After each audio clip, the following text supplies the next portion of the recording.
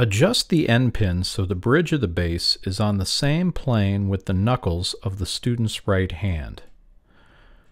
The important thing in setting the end pin length is to not set the bass too high. A bass set too high will cause the right elbow to bend too much. The angle of the bow to the strings will change and ultimately the result will be a poor sound.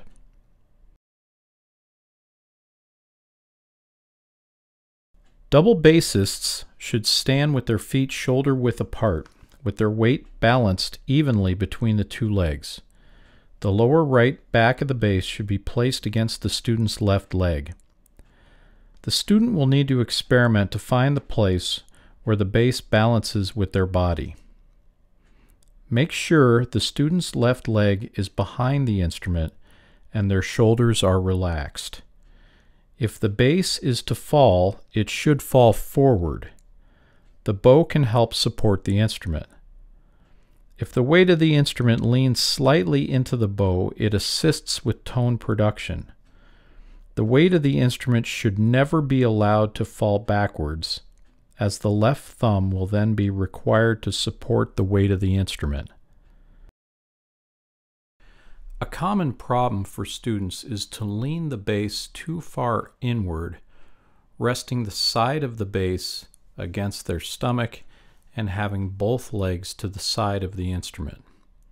This creates problems for the angle of the bow and also for the left hand to reach the strings correctly.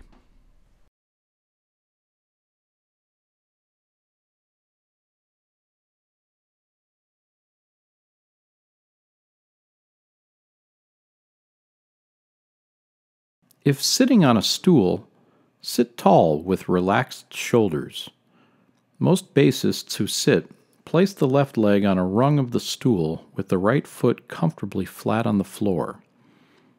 Some bassists prefer to sit with both feet on the floor or to place the left foot in front of the stool and elevate it with a footstool, block, or brick. This assists with lower back comfort.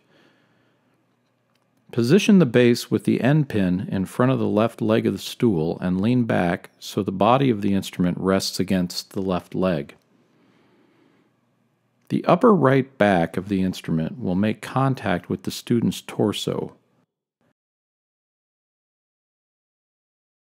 The student may also sit forward on the stool with both feet on the floor or with the left foot elevated on a block.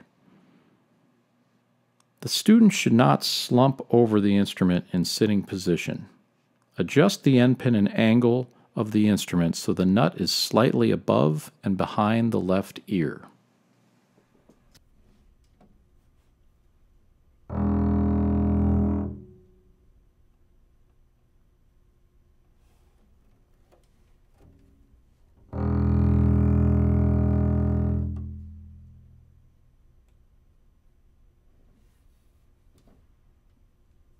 Música